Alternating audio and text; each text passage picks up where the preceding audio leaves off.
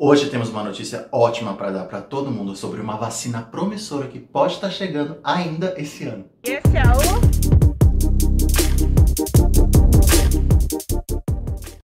Hello, hello, hello, eu sou o Gabriel e bem-vindo né, a mais um É o Papo Londres, gente. Ontem, na segunda-feira, dia 9 de novembro, foi anunciada uma ótima notícia, daquelas que a gente celebra e que o mundo está esperando. Uma vacina administrada pela Pfizer provou ser 90% eficaz contra a Covid-19 e pode ficar pronta em 2020. Isso não é maravilhoso, gente? Vamos fazer muitas rezas aí para os cientistas e que isso dê muito certo. E ontem no anúncio também, o Boris Johnson, ele falou também sobre a vacina, né, dessa grande esperança que temos, mas enfatizou que não podemos contar com a vacina para curar e parar com a pandemia, pois os níveis estão aumentando cada vez mais e uma vacina aí ajudaria, lógico, mas ao longo prazo e não nessa segunda onda que assola o mundo e a Inglaterra também. Ele disse também que em Liverpool o exército está ajudando a fazer os testes em massa em 19 lugares e que isso também não é uma razão para pararmos de fazer o que a gente já faz, né, gente? Que é seguir as regrinhas do Covid de lavar as mãos, ter distanciamento, usar máscara, enfim, tudo isso que a gente anda fazendo. Ele disse também que assim que a vacina for aprovada, ele vai fazer uma operação com o NHS para vacinar muitas pessoas aqui no Reino Unido, mas ele disse que é vital não relaxar por causa dessa notícia do sucesso da vacina e que é super importante continuar se cuidando e respeitando as regras do lockdown. Ele falou também que muitos obstáculos aí podem ocorrer ao longo do caminho, né, que essa vacina aí pode trazer, e eu vou falar desses obstáculos mais para frente no vídeo. Essa parceria que a Pfizer, que é uma farmacêutica americana, fez em parceria com a empresa alemã BioNTech está sendo super bem sucedida e eles disseram que novos resultados da última fase de testes, né, que é a fase 3, mostrou ser super eficaz em mais de 90% dos participantes que não tiveram infecções pelo Covid-19 depois de uma semana da administração da segunda dose de imunização, numa última análise de testes recentes. Essa análise, gente, avaliou que 94 dos mais de 43 mil voluntários que fazem parte dos testes foram infectados pela Covid, mas precisa de um número de 164 casos confirmados para dizer realmente que a vacina funciona. A empresa diz que vai continuar estudo até que haja 164 casos de Covid entre os participantes e o Bill Gruber, um dos cientistas de vacinas da Pfizer, disse que esse número deve ser alcançado no início de dezembro, pois o número de casos nos Estados Unidos está muito alto. E segundo notícias e os próprios empresários da Pfizer, a imunização pode ficar pronta até o final de 2020. Será, gente? Ó, fingers crossed. E o presidente da Pfizer, o Albert Bourla, disse que poderá fornecer cerca de 40 milhões de doses nos Estados Unidos se os testes da fase 3 continuarem conforme esperado e se os órgãos reguladores como a FDA, né, que é o tipo de uma Anvisa dos Estados Unidos, aprovarem o seu uso.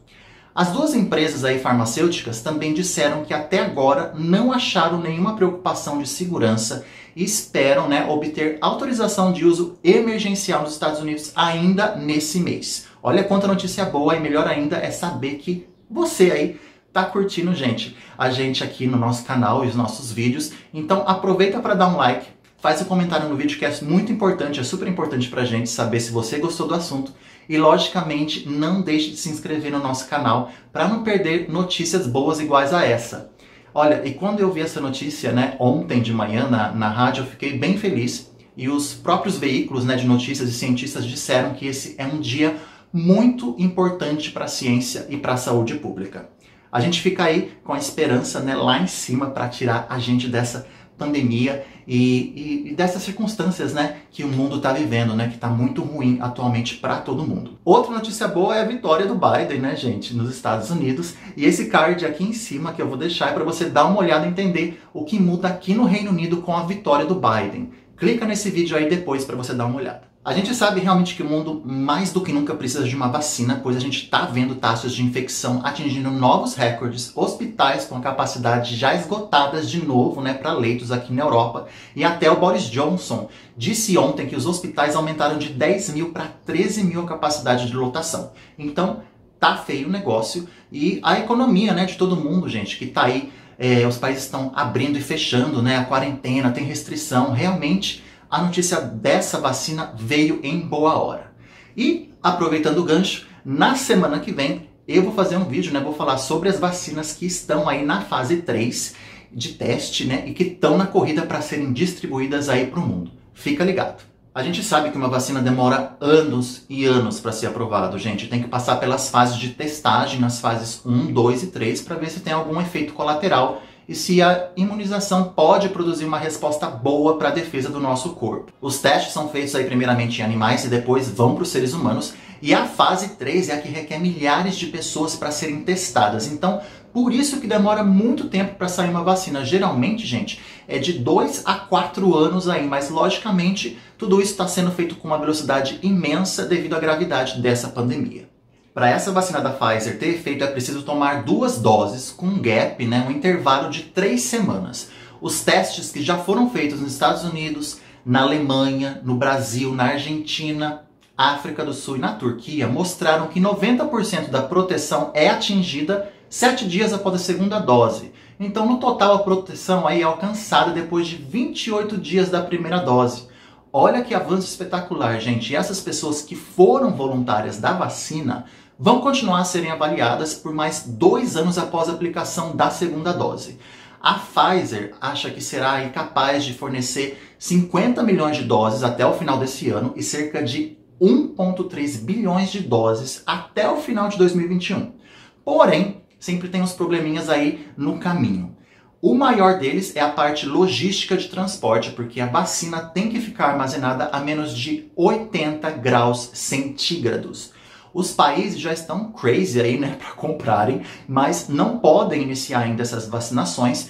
Porém, o Boris anunciou ontem que o Reino Unido já fez um pedido de 40 milhões de doses, que seria o suficiente para 20 milhões de pessoas, já que cada pessoa precisa de duas doses.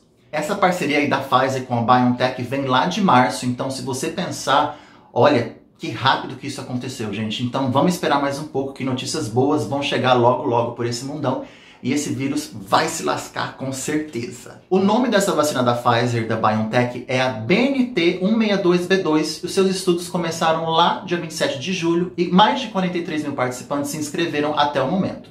E mais de 38 mil pessoas, aí quase 39 mil, já receberam uma segunda dose da vacina no dia 8 de novembro de 2020.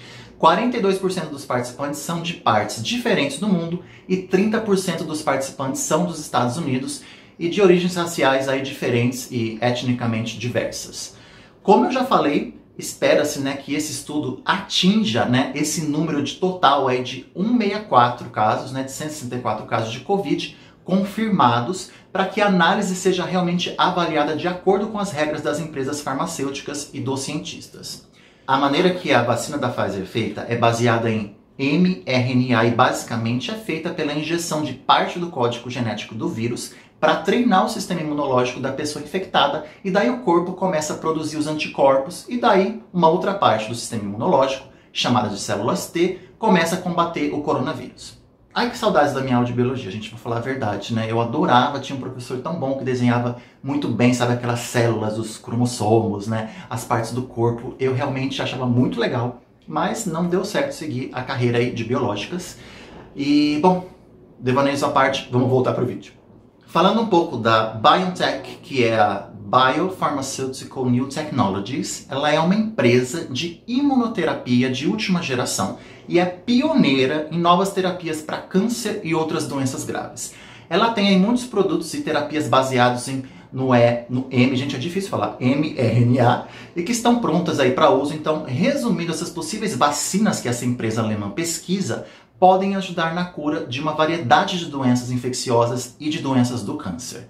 Tomara aí que eles façam muitas parcerias com as grandes empresas farmacêuticas por aí, igual fizeram com a Pfizer para ajudar a melhorar a saúde das pessoas. E o milagre da medicina, né, gente, que acontece e dos cientistas. Vamos rezar para eles. E é lógico que a Pfizer analisa muitos outros fatores, como a distribuição em massa, a logística para transportação e alguns outros casos aí que possam ocorrer de efeitos colaterais, porque a vacina continua a ser monitorada nessas pessoas. Então, vamos ter um pouco mais de cautela e vamos continuar se prevenindo da melhor maneira possível, que é fazendo o que a gente já sabe. Lavando as mãos, passando álcool em gel, usando máscaras, fazendo distanciamento, evitando aglomerações e fazer a quarentena, né, gente, em países onde é necessário. Não vamos burlar a quarentena, ok? Olha, gente, tudo isso que estamos aí, a gente está fazendo desde março, né? É até agora a melhor saída para combater essa doença, esse vírus de se espalhar cada vez mais por esse mundão, né? Sai vírus. Eu espero que logo, logo essa vacina traga mais boas notícias para a gente tentar se reconectar com o normal que a gente tinha lá no começo do ano e que saudade, né, gente, daquela época. That's it guys for today. I hope you stay safe. Fique bem, dá um super like aí no vídeo, se inscreve no nosso canal and I'll see you soon in another video. Bye guys, até a próxima. Tchau vírus. bye bye, Vaza, Vaza,